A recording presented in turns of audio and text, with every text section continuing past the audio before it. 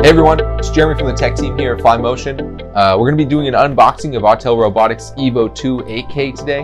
Um, pretty, pretty awesome mid-sized UAV. Couple points to hit on. Um, one of the main points is that this is actually a swappable payload uh, platform. Uh, comes in a couple other versions, the 6K camera, this 8K version, and then a dual thermal and visible light.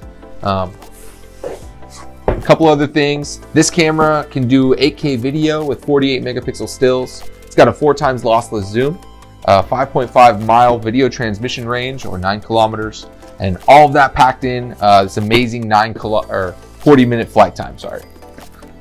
So we're gonna open it up here. First thing you got is this awesome looking orange drone. off to the side.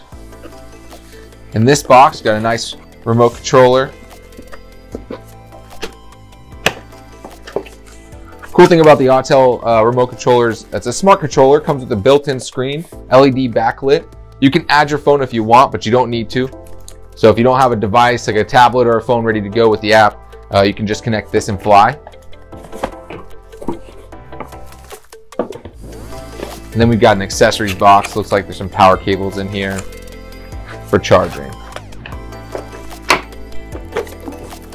That's all that's in the box. We're gonna move this down here. Let's take a look at the drone. So you can see it is a foldable drone. Got our propellers nice and protected here. I'm going to open them up.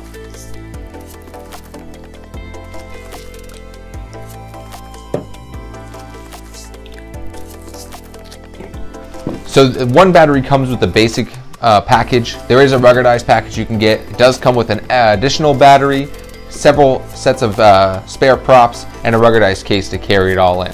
Uh, another big point to touch on with the Evo is that it's got omnidirectional uh, obstacle avoidance. So you got two on the top here, two on each side, two on the back, and two on the front. So while we're on the front, we're gonna go ahead and take the gimbal guard off and check out this 8K sensor. So this 8K sensor is a little bit different than the ones you see in the mid-sized UAV platforms. A lot of them are uh, square, rectangular. Uh, this is very sleek. It's very spherical. It's got flat top and flat bottom. Um, but I think this is uh, this is going to be a beautiful camera to see.